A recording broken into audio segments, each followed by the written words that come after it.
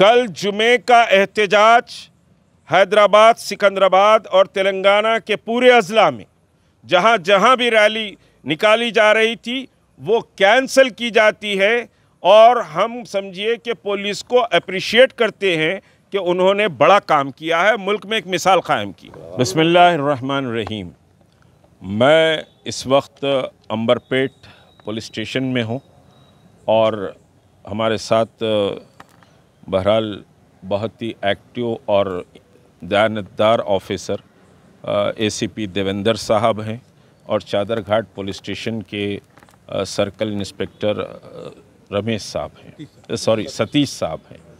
और एक अहम ऐलान जो करना है आ, आज बहरहाल राजा सिंह को पीडी एक्ट के तहत जेल भेज दिया गया है और इसमें पुलिस का और रियासती हुकूमत का बड़ा अहम समझिएगा किरदार रहा है।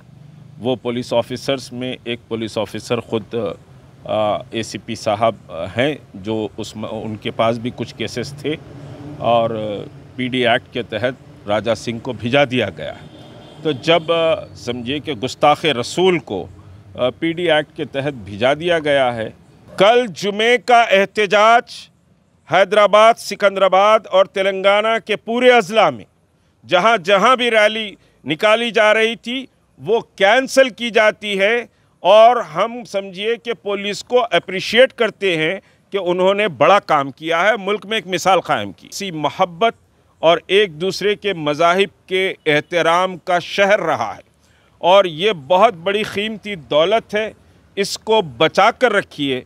लोग इसको बिगाड़ना चाहते हैं लोग नफ़रत पैदा करना चाहते हैं, लेकिन इस नफ़रत के माहौल में बहरहाल हैदराबाद मोहब्बतों का पैगाम दे।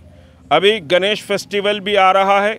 उस गणेश फेस्टिवल में भी, जैसे मैंने कहा एक बात, बहुत क्लियर, मुस्तकिल कह रहा हूँ कि ये जो शान रिसालत की लड़ाई थी, वो लड़ाई हिंदू मज़हब के ख़िलाफ़ लड़ाई नहीं थी, वो शाती में रसूल राजा सिंह के ख़िलाफ़ लड़ाई थी।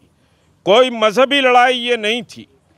वो हम, हमारा मतालबा हुकूमत से था और हुकूमत ने मुसलमानों के जज्बात और एहसास का ख्याल करते हुए, बहुत तेज़ी के साथ कार्रवाई करते हुए शाती में रसूल को जेल भेजने का काम किया।